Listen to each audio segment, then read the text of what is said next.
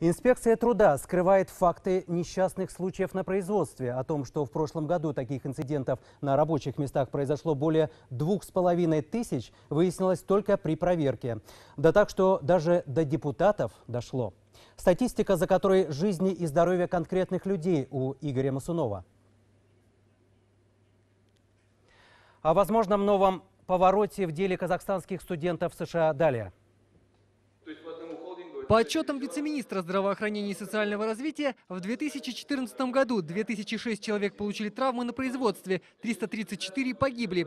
Эти цифры существенно разнятся с теми, что парламентариям предоставил ранее Комитет по статистике. То есть данные комитета показывают тенденцию количества смертности на производстве к снижению, а травматизм к увеличению.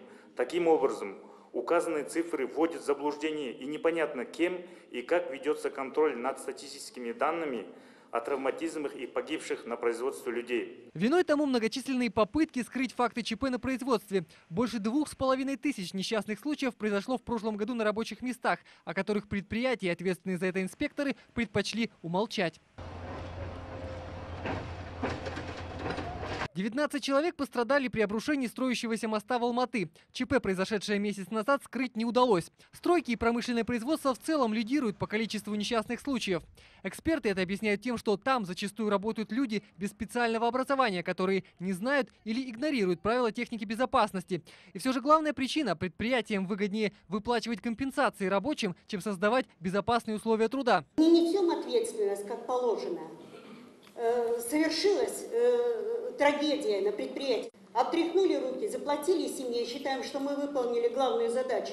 Я все-таки предлагаю в период подготовки сегодня рассмотрения нового кодекса о труде и те э, законодательные документы, и уголовные, и административные ответ, ответственности, увеличить э, прежде всего ответственность через штрафные санкции. Штрафные санкции не самое главное, уверены в Министерстве здравоохранения и социального развития. В ведомстве отмечают, тут нужен комплексный подход. Речь идет об, отдельных направлениях. Во-первых, это совершенствование институтов страхования.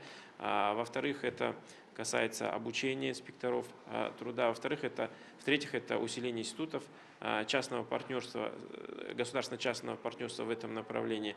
А, Это э, совершенствование методологического учета той статистики, о которой говорили. Сегодняшнее обсуждение – это лишь начало большой работы. Уполномоченные органы озвучили наиболее острые проблемы и обменялись мнениями о том, как их можно решить.